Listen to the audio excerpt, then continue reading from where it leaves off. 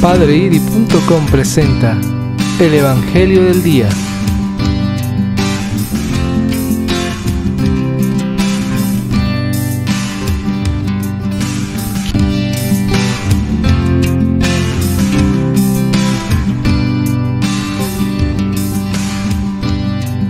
Del Evangelio de San Juan. En la última cena dijo Jesús a sus discípulos, pero ahora vuelvo al que me envió y ninguno de ustedes me pregunta a dónde va, sino que por haberles dicho esto su corazón se ha llenado de tristeza. Sin embargo les digo la verdad, conviene que yo me vaya, porque si no me voy no vendrá a ustedes el consolador, pero si me voy, se lo enviaré.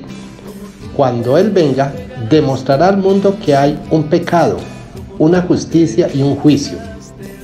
El pecado está en ellos, no creen en mí.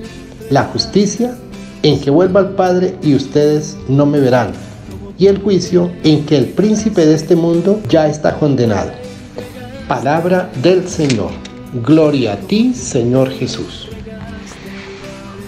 Cuando el líder de un grupo se va, mis queridos hermanos, o desaparece, a veces los miembros del grupo se quedan desorientados, no saben qué hacer les falta la palabra que les indica hacia dónde caminar, a dónde dirigirse, que les señalaba el camino y los pasos que tenían que dar.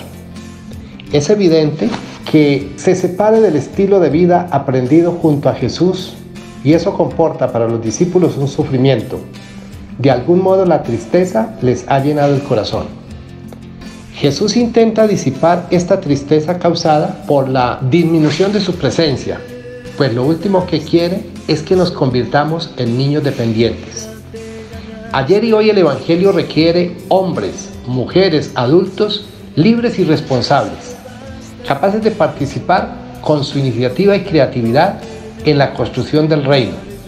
Personas capaces de enfrentar los conflictos y las situaciones complicadas que encontrarán a lo largo de su vida, siendo fieles al mismo tiempo al mandato del amor que nos dejó Jesús.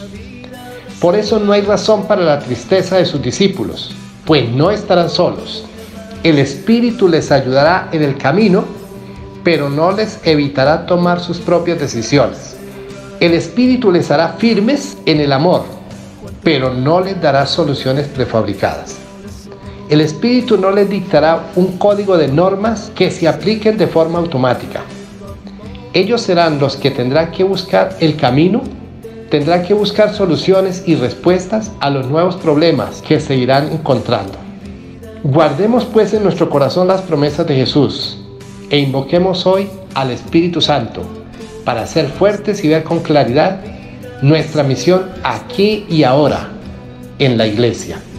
Gloria al Padre y al Hijo y al Espíritu Santo como era en el principio, ahora y siempre, por los siglos de los siglos. Amén. Señor nos bendiga, nos guarde de todo mal y nos lleve a la eternidad. Amén. La Santísima Virgen María, nuestra Madre, nos acompañe en este caminar en la fe.